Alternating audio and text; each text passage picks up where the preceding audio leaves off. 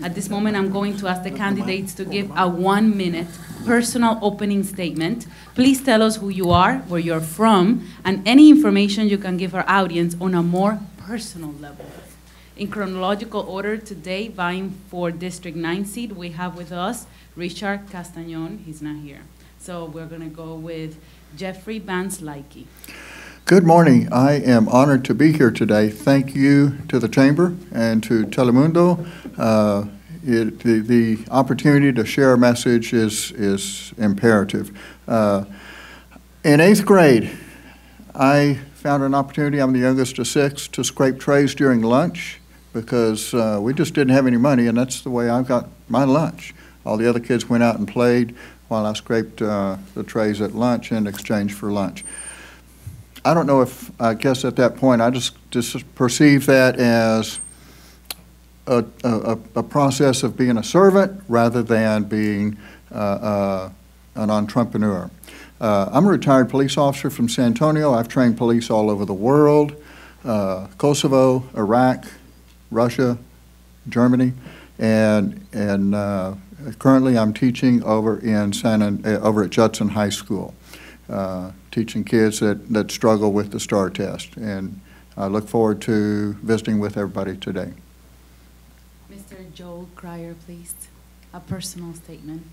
Opening Thank statement. you. I'm Joe Krier. I have lived in San Antonio for more than 40 years and in District 9 for more than 30 years.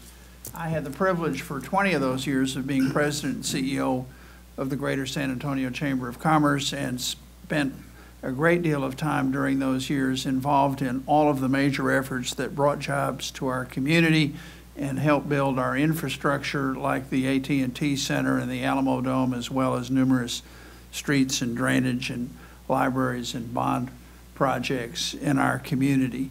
Those are the kinds of things that build a better community. I've had the privilege of serving on city council for a year and a half, and during that time have led the effort to see that citizens got to vote on the streetcar project and ensured that we got a back-to-basics budget with no tax increase. Thank you very much. Thank you, Mr. Krier. Now, Mr. Thomas Seconi, am I pronouncing your last name correctly? Correctly, yes. Seconi. I get it a lot of ways. I spend a tour in Alabama. I'm a Bert Ciccone. I'm originally from Pittsburgh, which makes me a Steeler fan, not now, but then. Uh, Cowboy fan now. And uh, went to the University of Pittsburgh Dental School, graduate school through the Air Force at the University of Michigan. Have an interest in research and education and sports. I enjoy playing golf, uh, although I take too many strokes, even when I cheat. and uh, I, I enjoy politics is a hobby, and I don't know if I would like it as a, a, contact sport. And it's always a pleasure to be with Joe and Jeffrey and Mike. Mike and I are ex-Air Force officers, uh, but he was with the Chief of Staff, and I was fixing the teeth of those that were fighting for us. Thank you very much. Thank you very much. And I want you all to know that the last candidate in this district, Loris Lusher, previously committed to this event, but now she has a, a, conflict and is unable to participate. So we have with us District 10 uh, incumbent and current councilman Mike Gallagher. Good morning, Mr. Gallagher. Good morning, and again, like the other candidates here, I just want to thank everybody for enduring having to listen to all these politicians over the last few weeks. We really do appreciate your efforts. Uh, I come from a military background, almost 29 years in the United States Air Force. I served in uh, public affairs capacity, so ironically, what I did in the Air Force is almost exactly what I'm doing here on council, giving speeches, turning out newsletters, and oh yes, talking to the press. So we do that all the time. But I've been involved uh, really in neighborhood work more than anything else. We organize the Northeast Neighborhood Alliance. Believe it or not, ladies and gentlemen, that's 85 neighborhoods that get together now. And so when we get up in front of them and talk about what's going on with city issues, it's amazing how many voters we get to communicate because of that, how many people that are interested in civic activities. So as far as I'm concerned, this was a great way for us to be involved and hear the voice of the people in the district. Thank you. On behalf of the Chamber of Commerce, I want to tell you that we are very glad that you join us, even though the- your opponent, Ms. Celeste Montestir, will decline our invitation. So let the forum begin. These are the questions for the candidates. I, we will decide them. Questions will take about se- 30 seconds. Each question will be limited to one topic and addressed to one candidate at a time. Candidates may or may not be asked the same question by the moderator. Answers will be 90 seconds. Green, yellow, and red light to assist in timing on teleprompter. At the end of the forum, each candidate will have two minutes for closing arguments. So don't feel that you have, you will have two minutes to say whatever you want to say. So let's start. Um, The first question will be addressed to Mr. Secconi. And it will be, San Antonio is committed to investing a significant amount of money into funding the 142-mile Vista Ridge water pipeline with the intention of expanding our water supply and securing additional water supplies for the city. As a city council member, do you support this project, or do you have other projects to increase our water capacity? Pertaining to water, uh, I rely on experts and, and, and their uh, expertise in hydraulics, and I take their word for it. As a uh, political activist, I know that water is our most precious asset, and anything that would ensure future water supplies, I would be in favor of. I'm in favor of that project. I don't know the details of it, but I certainly like the end results, which gets us about 50,000 acre feet a year, which en- ensures our, our water supply well into the future. That's it. Thank you. Mr. Slike? Same question? Uh, I, uh, I will be voting for it, for the, the uh, Vista Ridge project. Uh, I think that we can do additional things. When I say we, we as a community, as individuals, and collectively.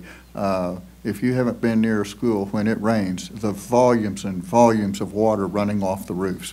If we can develop more rainwater catchments, two things are going to happen. We're going to capture water uh, that can be used, and we're going to provide some relief to, to the wastewater system, too. Um, Back to the Vista Ridge, uh, I think it, it it does offer a solution, and we can breathe. Um, But I have some concerns with the transparency of it. And I think that, that, uh, uh, and I don't say that casting any stones at anything. I just think that if we open up and, and we can see more information, we as a community then can activate and get more persons involved. And that's what we need to do uh, with, with the Vista Ridge, is, is share more information. Who's going to be doing it? How's it going to be done? And, and, and let's, let's bring more of the community involved, share the opportunities, and, and uh, that will also address giving some, some employment opportunities. Uh, Just, we've, we've got to get more people involved. For Vista Ridge, uh, I'll be voting for it. I think that uh, it does provide uh, a sense of relief for the days ahead. Mr. Krier, related to the same topic, do you support the current financial commitment and corresponding rate increase this project has on taxpayers? Sure. A- a- The answer to that is, is yes, uh, water is not free. It's going to be an increasingly expensive commodity. In this century, many people realize that in this century, water will have the economic importance that oil and gas had in the last century. And that's why I spent uh, literally two and a half months meeting with a group of people every week to work on city council to get the Vista Ridge project passed, which we passed unanimously. We knew when we passed it that it would require a series of rate increases over time. Even as those rate increases are adopted, San Antonio will still have one of the lowest overall water rates per capita of any big city in Texas and of any big city in the United States. The good news, though, is that during the 20 years I was at the chamber, we lost a lot of employers who were considering moving to San Antonio and decided not to because we did not own our water future. We had great plans, but we had no ownership. And now, for the first time, we own a 30-year supply of water. Uh, Importantly, we will get more water at the front end than we need, which is one of the reasons why I initiated some meetings with the military community here to provide them with water uh, so that they can get off of their current stage four water restrictions. Thank you, Mr. Krier. Mr. Gallagher? Yes, I think like everyone here this morning, uh, this Vista Ridge project is one of the most important items that uh, Joe and I had the opportunity to vote on uh, this past year. It's absolutely essential for the future of our area. Uh, believe it or not, one of the things uh, just mentioned that we've got to be concerned about is uh, what the aquifer level is right now. Uh, as the Base Realignment and Closure Commission will be eventually visiting us here in the next couple of years, they'll be looking at the resources that are available for these military installations. We could be in big trouble if we continue to dry up. And what's really been upsetting is to watch that Edwards aquifer level drop and drop and drop. And fortunately, uh, this rain that we've had in the last little while has brought it up a couple of feet, but nowhere near where it needs to be. We have to have these other opportunities for water. And so I'm very pleased that this project's underway. But I also do like the uh, unique ideas of coming up with other ways of preserving it, so I hope that we do that as well. Thank you. Thank you. On to me. Uh, The next question, uh, Bert, would be to you, please. The city's public safety functions, police, fire, and EMS, are supported by the city's general fund. These funds also support other key functions such as libraries, parks, street repairs, and code enforcement. Alone, the public safety departments constitutes the largest general fund expenditures in the city's budget, which has resulted in fewer funds being available to other city needs.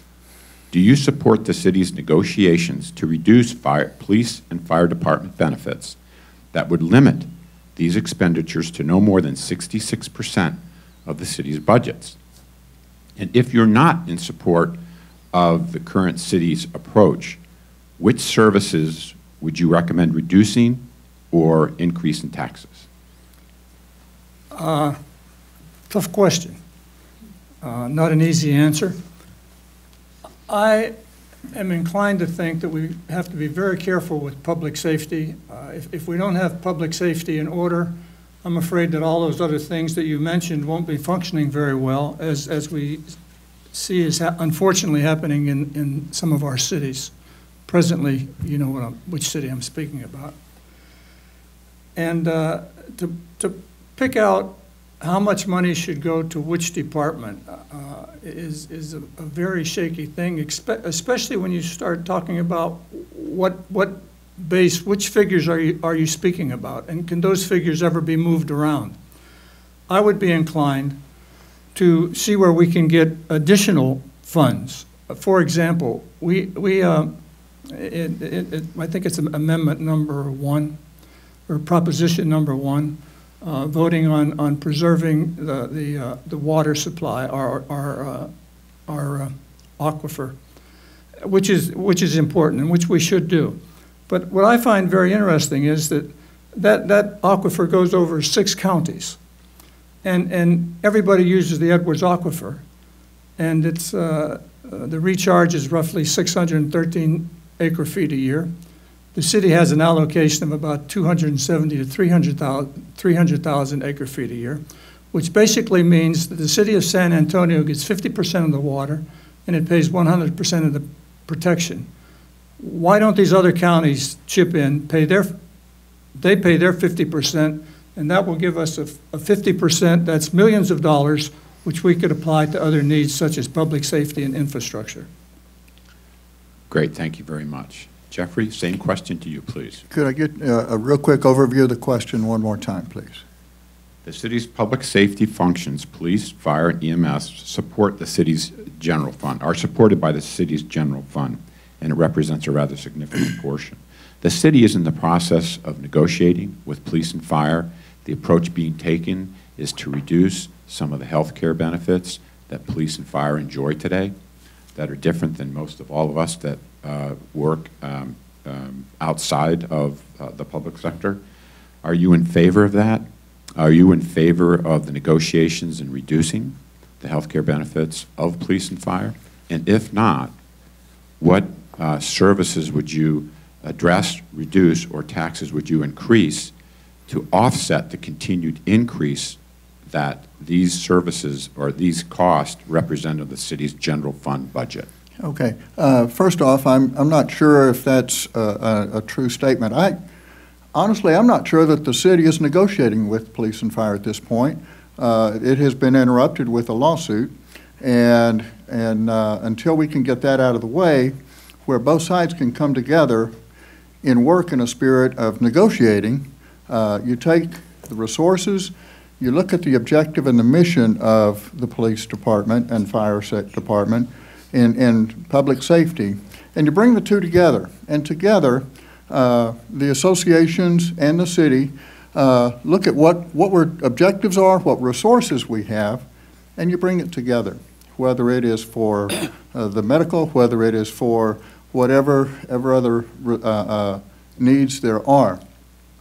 So if we can get that lawsuit out of the way, they can come together and, and work. Now, back to the sixty-six percent, uh, even that is a fluid number, uh, of late.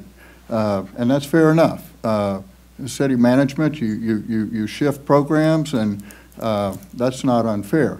But to make that as a stipulation, what sixty-six percent was two years ago, last year, and this year, is, is too, is too dynamic to lock in on that.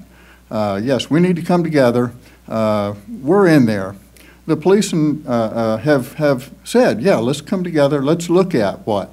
It's a matter of give and take. In years past, in years past, the police have sacrificed other benefits in exchange for that insurance. I think they need to come to the table and, and address the issue. Thank you. Joe, same question.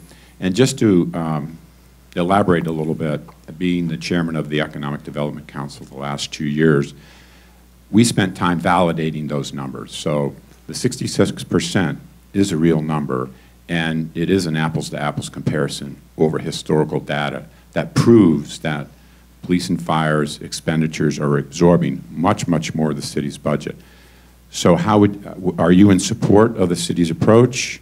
And again, if uh, not, what taxes would you increase and/or services would you reduce? Well, number one, thank you for the question. I do support the approach the city has taken on this. Uh, We know that the current costs in this year's budget, because we do not have a union agreement, will be in excess of sixty-six percent, somewhere between sixty-seven and sixty-eight percent. We have got to bring those costs under control, or they will eat up the funds that are currently available for streets and library, streets and drainage, libraries and parks, and that's not healthy. I do not support raising property taxes either in the last budget or the, in the, in the budget coming up.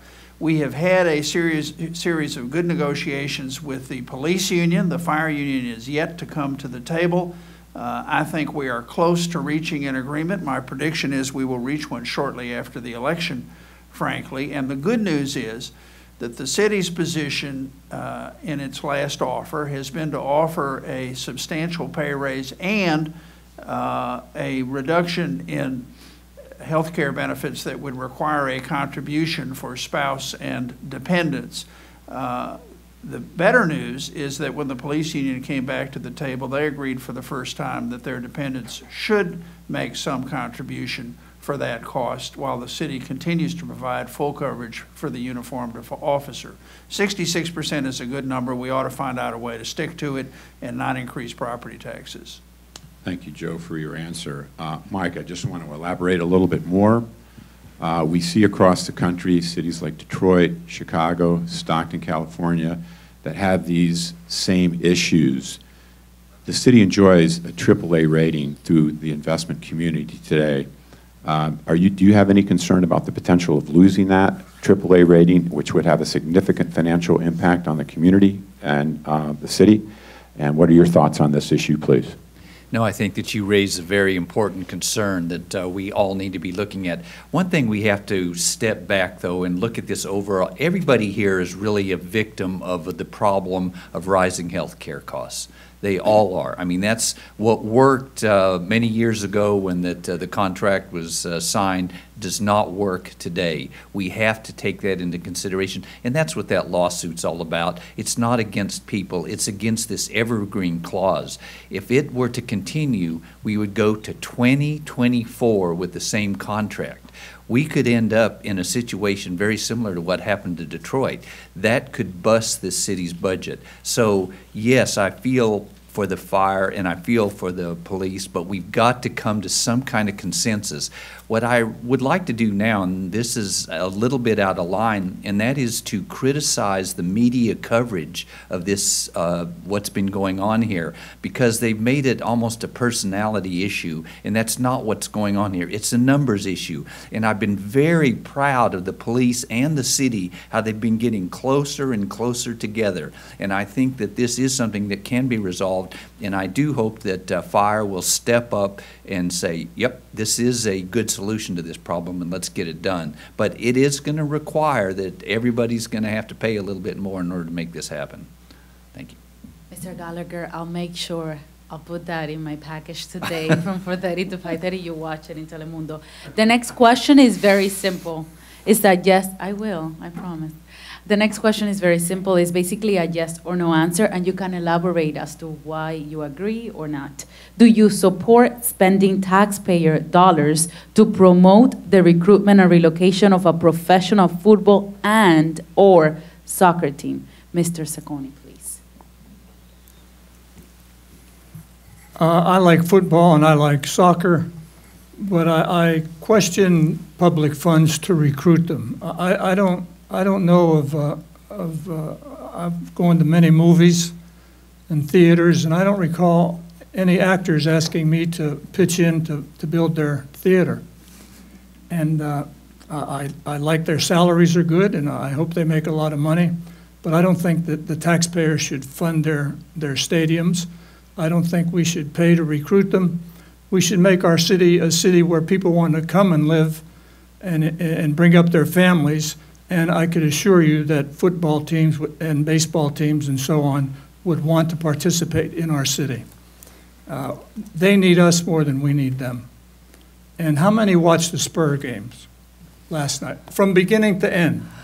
I was, I was working, I was working, that's why I couldn't. And it's hard it. for me to stay awake because I'm over 29. But no, I, I would not expend, to answer your question briefly, I would not use tax money to recruit any professional sport, period. Thank you for your honesty, Mr. Slyke. Uh, I thi, I want to back up and, and look at uh, tax money. Out of, out of the general tax budget, no. We do have the hotel motel tax, the tourist, uh, uh, designed to, to uh, bring tourism to San Antonio, which would include the sports. So out of the general fund budget and what, what you and I pay on our uh, home uh, uh, residential tax and any of the sales tax, uh, that needs to go to the budget, take care of the streets and the libraries and the police and fire, public safety. Uh, We don't need to be spending that money uh, trying to recruit a football team. Uh, I- it- uh, it- That doesn't make sense. But we do have uh, that special fund downtown to the hotel motel and the rental cars. That money should be designed if, if there's a legitimate effort and hope and, and it can be validated that, that, you know, we might be able to bring someone to town, we can use that money uh, for, for recruiting. Uh, Yes. Okay, Mr. Krier? Thank you. We have used in the past um, hotel motel and car rental taxes uh, to support uh, particularly the Spurs. The AT&T Center would not have been built without it. We had a voter-approved sales tax which built the Alamodome. So we have set the precedent in this community of saying that major league sports are an asset that big cities have, and particularly that the young professionals we want to move here and stay here expect to find when they live in a city. We've had ongoing discussions about a soccer field acquisition of the existing soccer stadium. Uh, It happens to be in Councilman Gallagher's district. He has really played a leadership role in uh, recruiting a team and leading the charge for an effort that would bring us a professional soccer team. At this point, we do not have a deal on the table, so it's, it's uh, not possible for any of us to say, I would support that deal, because we don't have a deal to take either to the community or to city council. And uh, when that happens, uh, I'm willing to take a look at it and see what's best for the community, recognizing that professional sports have been an asset to big cities around the country. Thank you. Thank you. Mr. Gallagher? Uh, Thank you very much for this question, because this is something that uh, I've really uh, supported. Major League Soccer could really help our city. You think about the jobs that can come, the development that can come, the new hotels and motels that will be built. This is a great opportunity for us, and we right now have a facility that's not going to require the huge investment that other cities would have in order to make this happen. Out at beautiful Morgan's Wonderland, we have a Toyota Field, and it's actually been designed so that we can increase the size of it from 8,000 feet that it current, uh, 8,000 seats that it currently has to 18,000 seats, which is exactly what MLS wants in order to uh, have a major league team here in San Antonio. You think about where we're located, right in the southern central part of this nation. Think about all the people from Latin America that'll want to come up and see these games. This is something that will be a huge economic boon for the city of San Antonio. I think we need to pay close attention to it, and I agree with uh, my colleagues here that it's something that we've got to make sure and do it right, do it smart, but I think it's something that will benefit all of us, and I want everybody to get on board on this one. Thank you.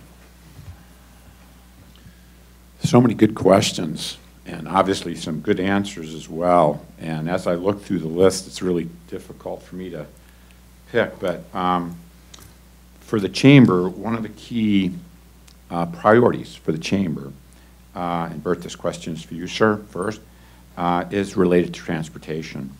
Traffic congestion continues to be a critical issue for our economy, and there are multiple solutions needed to address it.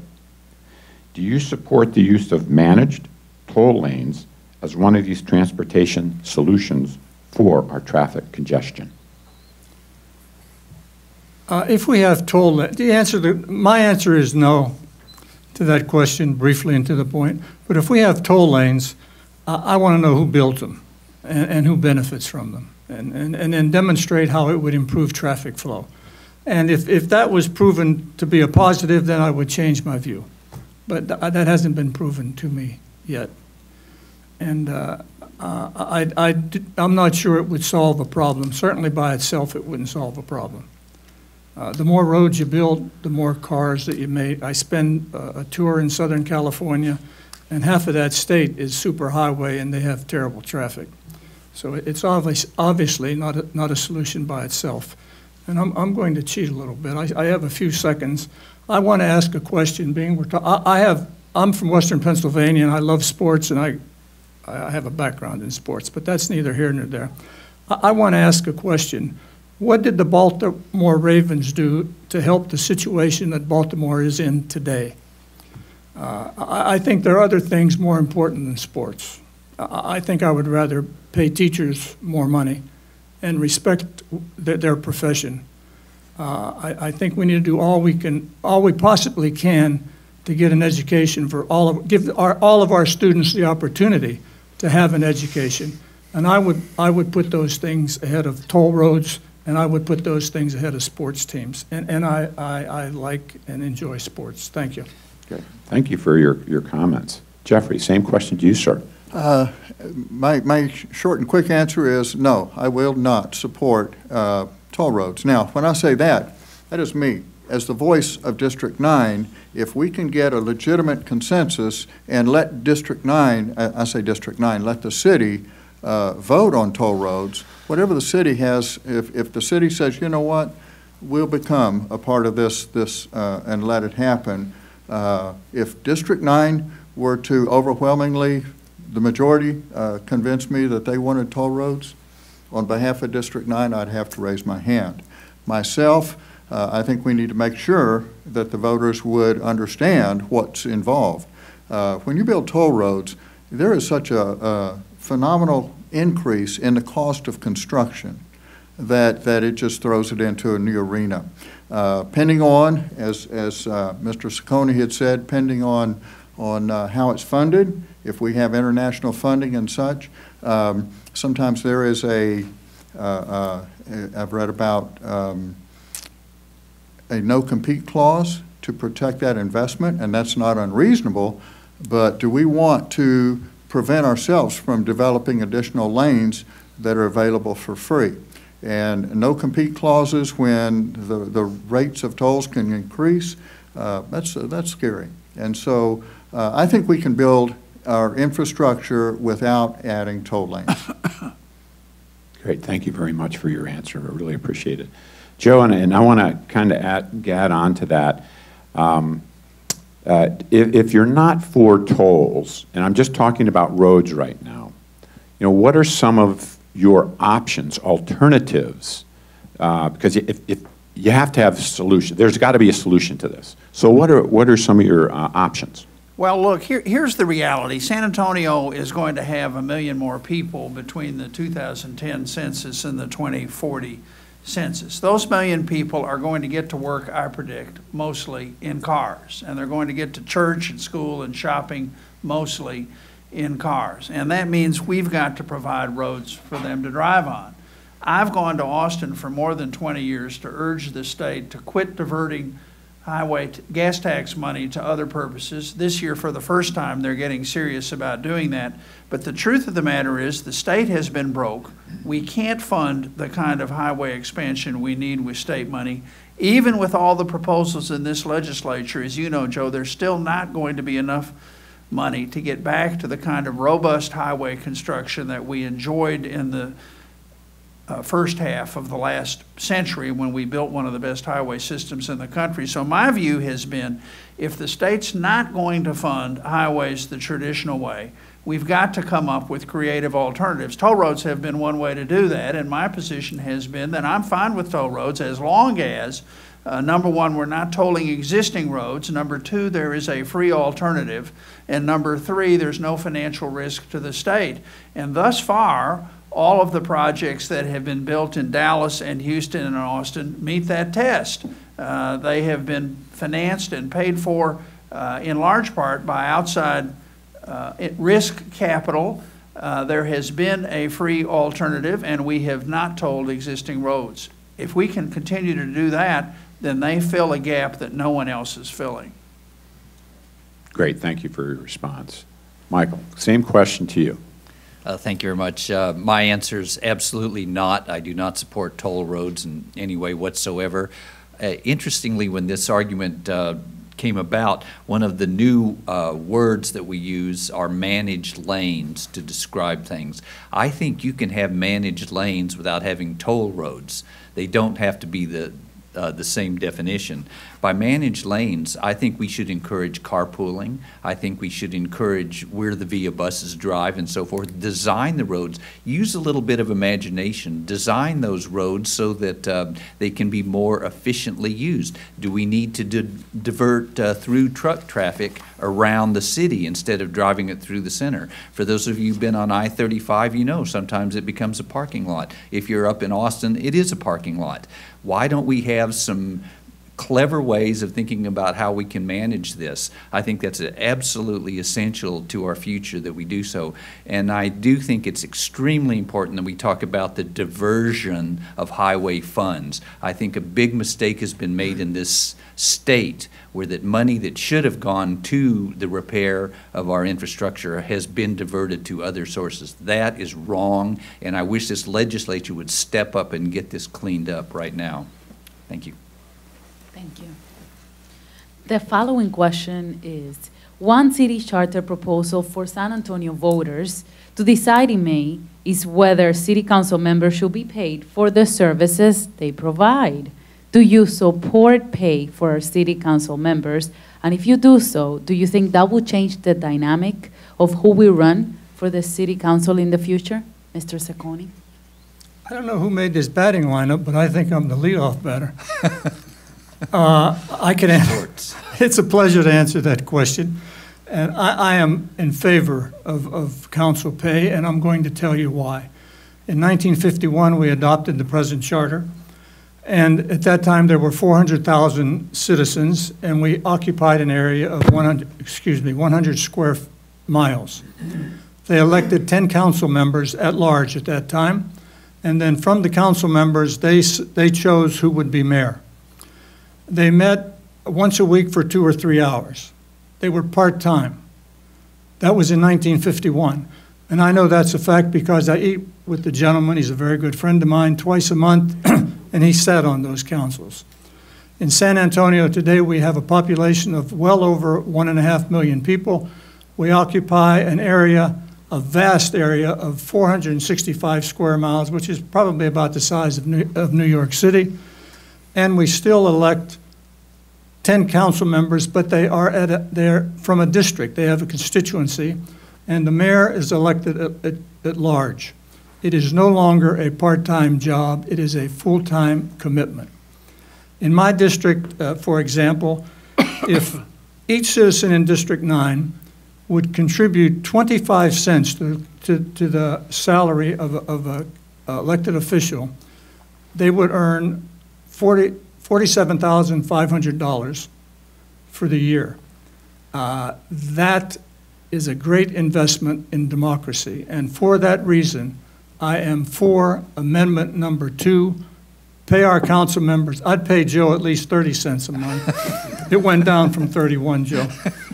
And uh, uh, they, they deserve our support. Thank you very much. Thank you, Mr. Slakey, please. Uh, Absolutely. I do believe that our council members and uh, mayor uh, should be compensated for the hours that they are investing in our community. Um, uh, For many of the naysayers, uh, no, we shouldn't pay because they're not doing a good job. Uh, Let's not look back because the ones that we've had in the past have not been paid. Let's look forward to what a paid council person might draw. Uh, Once again, to those uh, say, no, we don't need to pay them because we have attorneys, we have retired uh, officers on, on the council, um, uh, that, that's not a bad thing. But again, we have uh, professionals, we have uh, intellectuals, we have a a great many in our community that could participate if they could pay the rent and pay the mortgage. And so I think we need to open the door to involve more people. And, and we need not base the answer to this question on past performance, because that's changing, uh, uh, the, the, the opportunity to pay will, will make a shift between what we've had and the great potential we could. Once again, we're opening the doors for more community involvement with council and mayoral pay. Thank you, Mr. Slakey. Mr. Krier. Thank you. Do I think that council members on average put in 40 to 50 hours a week plus in order to do a good job? Yes, they do. I see that on behalf of all my client, my colleagues every week and have seen that since Colonel Gallagher and I got on city council a little over a year ago. Uh, Do I think they deserve to be paid? Absolutely.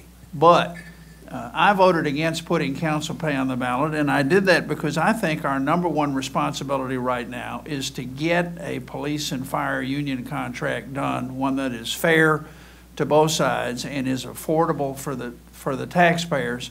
And it did not seem to me that we should be focused on pay for us at a time when we have not resolved the issue of what are, the- what is the pay and benefits for our police and fire going to be. There'll be plenty of time down the road in other elections to deal with council pay, but right now, that's the number one issue for me, and that's why I voted not to put it on the ballot this time. Thank you for explaining that. Mr. Gallagher. Thank you. Uh, I am absolutely in favor of this change to the charter. I uh, was appointed by the mayor to be on the Charter Commission, and this was one of the items that I fought for diligently because I think it is absolutely essential to the future of San Antonio. I think there's something very wrong about having people work 50, 60 hours a week and not uh, receive some kind of compensation for it. But it goes both ways. I also want 100% of the attention of that person who has been elected to that position because I want them doing that job and not not showing up to meetings or going somewhere else when they ought to be doing their elected job. So for that reason, it's something that I, I strongly support. I believe that uh, the city of San Antonio and the people that I've spoken to in many, many different forums all agree that this is something that is long overdue that we must make happen. And you know, one of the problems, and I understand uh, Councilman Krier's position on this, is that we are in the middle right now of these negotiations, but there will always be some issue that causes us not to bring this forward. And so I said, I don't care what time it is, it's something we've got to get done. So I would encourage all the voters to turn out and support this change to the charter. I think we have uh, time for one more question for each of the panelists before we get into closing remarks. Would that be appropriate, Allegra? Okay, great, great. Wow. Uh, My, my, my question, I'm going to take my moderator hat off for a second. I'm going to put my banker hat on. Um, And, and the reason why is economic development in a community is absolutely key. It really is the engine that helps foster growth in the community.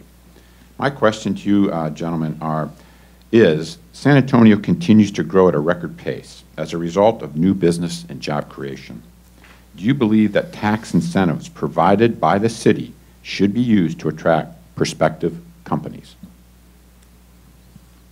I lead off again. Absolutely. Oh, I'll tell you, that was good because I don't know if I could hit with men on base.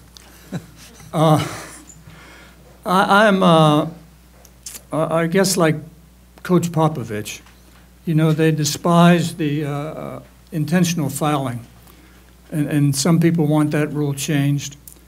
And, uh, and, and Pop's kind of uh, uses it because it's legal. Uh, My view is if somebody's getting paid five million and they can't make a foul, leave the rule the way it is, and he better learn how to shoot fouls. And when it comes to tax incentives, I, I do not like tax incentives, but every other country and every other state and every other city uses them. So I would imagine that we would have to continue using them as, as a prudent economic gener, uh, generator. I think the greatest uh, economic generator that we could have is to have a well-trained and, and well-educated uh, uh, uh, workforce. And you, you, you, you play by the rules as they are, and the way they are, I think we need to continue with tax incentives, and we need to continue to try to attract uh, uh, excellent paying jobs to our city as, in any way that we reasonably can. You owe me 15 seconds. Although you went over one for 15 seconds, so Don't worry. deducted. He's a banker. I know you can, never Mr. Van play in other Slyke. guys' court. The same question to you, sir. Uh, Tax incentives work. They do work. And in some occasions, and I think it's a a limited occasions, they fail. And so uh, the challenge we have, and I think Bert uh, uh, brought it up, if we're competing with other cities to bring uh, jobs and opportunities to San Antonio, uh, and we take that off the table, we're done. And so, so we, we've got to continue with it. And once again, uh, to help the population understand what's involved, uh, we need to inform. And when I say that, we have such a great opportunity to communicate to our, our community and, and share information and, and, and bring more participants to the table. You, you bring a company to town and, and provide them an incentive to, to give employment uh, greater than bringing outsiders in to, to make our community aware of the value and the benefit of it, where, where our very residents could get uh, uh, those opportunities. And again, Bert offered up, uh, from the tax incentives, uh, comes some employment um, education and, and development of the unemployed, uh, where that could be stimulated through the tax incentives. So uh, they work. They work. And like anything, there are the exceptional failures. Uh, But yes, I think that uh, it's a great tool for San Antonio. Great, thank you so much for your response. Mr. Krier, please, you, same Joe. question to you. You bet. I, five years ago, we dramatically restructured how we do economic development in this community. I had a chance to participate in that effort, and we decided for the first time that the city and the county would contribute money to the San Antonio Economic Development Foundation to be a full partner in those efforts. And in exchange for that, both of those governmental entities would be involved in the management of the foundation at the, at the executive committee and topmost levels. I asked for, and we are now in the process of a five-year review of what did we get for that. Uh, the city has invested substantial cash, as has the county. It seemed to me that five years was an appropriate period of time to say, what have been the results? Was the investment worth it? Should it be continued? In principle, we've got to offer these incentives. Why? Because our competitors do it. I used to go to the meetings of the 100 largest chambers in the country to a person, they all agreed that if we could live in a world where no one offered incentives, we would do that. But if your, if your competitor's doing it, you've got to do it. As Marty Winder says, the reason we pay $5 million to our football coach is because that's what the other schools we're competing with do. So do we need the incentives? Yes. Do they produce results? You bet they do. I was a part of Team Toyota, and they sure produced great results there. Uh, This is a good time, though, to review what we've gotten for that, and I look forward to taking part in that review later this year. Great. Mr. Gallagher, please. Uh, I'm in full support of this, and it's really because uh, I like the analogy that, that that's the game that's being played right now. If our competitors are using tax incentives, then we need to do exactly the same thing. Otherwise, we could really be at a big loss. The one thing that hasn't come out, though, that everybody needs to realize is there are a whole set of rules that whenever that we uh, talk to these uh, uh, enterprises, that we say to them, if you don't follow these rules, if you don't hire so many people, if you don't do this training, if you don't grow at this rate, you're not going to get those incentives. In fact, you're going to owe us money.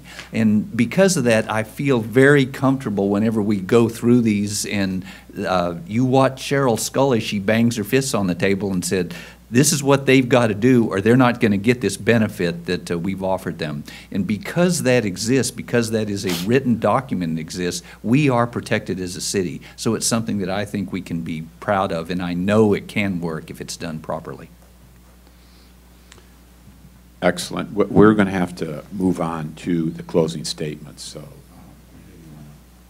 Whatever, whatever it is that you didn't get a chance to answer, like what would be the issues that you are more worried about in your district and how to solve your closing statements, you're welcome. You, you each have two minutes. Let's do it. Uh, Just before uh, we we do that, general I don't want to, I want to thank you really quick for your time today, but this, this, obviously, these forums are very, very important.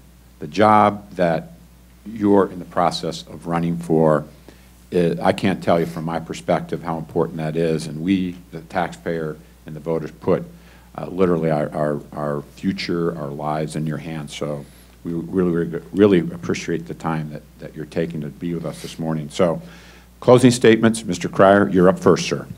Thank you, and thanks to the sponsors for this event. It's a great opportunity to talk about real issues.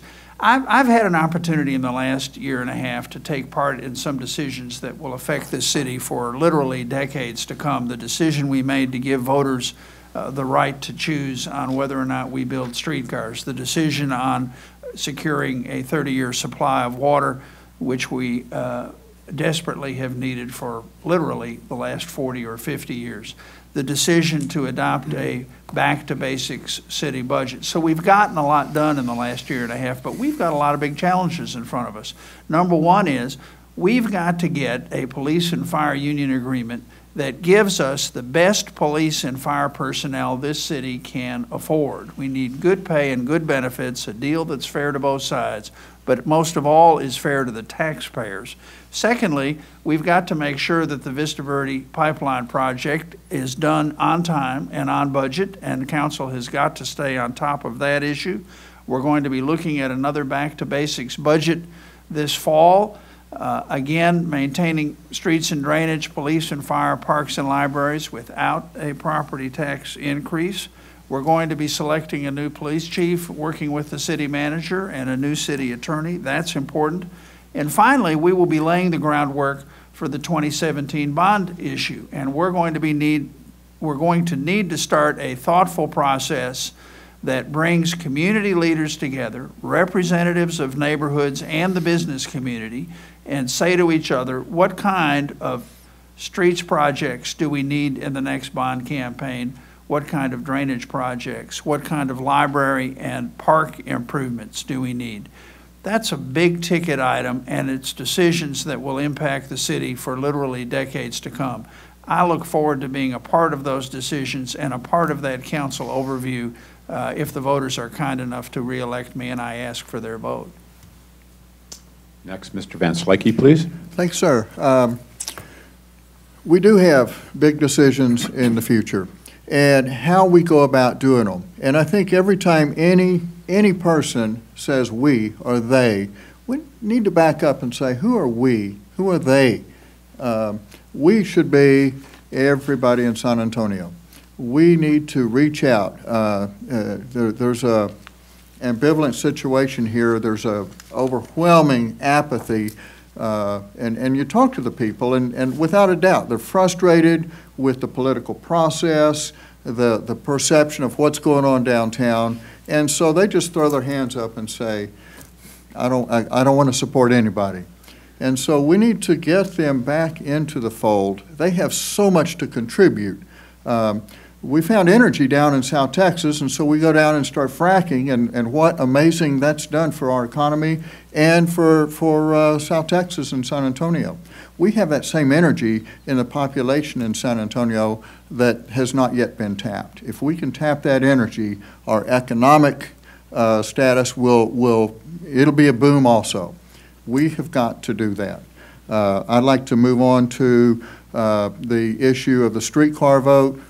That is, it's sad, that's a short voting, uh, short-sighted vote uh, uh, for what was an ill-conceived idea by, by a few. Uh, And the same few that did, designed the streetcar issue have designed the toll roads. And so we need to expand that uh, or, or address that. The last thing I'd like to address, because I think that your questions have pretty much gone the gambit. Uh, Joe talks about hiring our next police chief. We need, we have got our qualified personnel here in San Antonio. We're the seventh largest city in, in the nation. We have officers, uh, command officers that understand the city, the community. Uh, The challenges going elsewhere could happen here. I think that we need to hire within. promote Thank you very much for your response. Mr. Saccone, the floor is yours, sir. I feel much more comfortable batting third, like Clemente and Musial and so on and so forth. And uh, my, you- you've heard of the KISS principle? Well, my principle is the KISS principle squared, and that is keep it simple and keep it short. And I am going to touch on the most important issue that will affect all of our decisions well into the future. And that isn't a police contract, it isn't a road, it isn't a toll road, and it isn't a baseball team or a soccer team. Soccer. What it is are the people that sit on city council and make, they become informed and they make the decisions. And we have to show respect for those people and give them reasonable compensation to work for us the best way they possibly can. And if we don't like what they're doing, it's a democracy. Vote them out. That is the most important issue, and the amount of money, you can't put everything on, on hold because there's a contract that we're dealing with. Uh, It may take 10 years to solve that contract. And the amount of money we're talking about to compensate all of these excellent people that, that are on our council is less than the city manager makes, and she's worth every penny she make, she earns, don't misunderstand me. But it's a pittance in, in a, in a city contra, in a, in a city budget. Right, Mr. Banker? Absolutely, I concur with that. it, it is, it is very, very little. And uh, I, I- don't know, I, I've been with these men and women, I've been in enough elections, and I've lost a few of them, but that's, that's beside the point. We really don't deserve the men and women that have got in, the arena, and there are three of them right here with me. And I'd say three out of four isn't bad. And, uh, and we need more competition. We need to show respect for the office and the people that hold it. Our elected officials deserve our support. Pay them. Great, thank you for your, uh, your response, Mr. Saccone. Okay, Mr. Gallagher, you're, you're last up, but you're Cleanup. batting Yeah, I'm cleanup. batting cleanup, so to use an analogy. Yeah, okay. Well, without question, uh, number one, thank you so much for having us here today. I think uh, you hit on all the big issues. You really did. Those were great questions. Those are the things that are on the front burner for all of us, and we do care about them very much. Uh, One thing that I think that uh, we need to be careful about, though, is city focus. Where where is the attention to the issues that are facing us? I've seen this in my own district. In District 10, we have what we call the Northeast Corridor that we're working on. And what that is, it's an area that back in the 1960s, 1970s was growing, it looked great, but over the years, it's just like the people there, they've gotten old, and it's slowly deteriorated. Well, this wasn't a part of any downtown project. This was out uh, in the suburbs at the time. But now what we really have, because we're such a big city, is a whole lot of downtowns. They're all over the city. And what we need to do as a city is start focusing on all of these areas and not just selfishly look at one, because there's a bunch of areas need all kind of investment and cleanup. And I would just hope that the city as a whole will take that into consideration. And the last thing I want to say is that I'm very concerned about voter apathy.